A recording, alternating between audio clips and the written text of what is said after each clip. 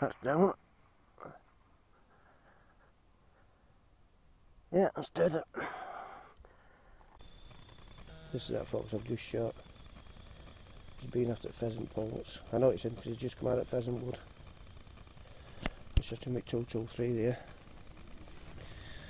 That there is my little digi unit that I've used to shoot and filming with. That just sits on back at gun.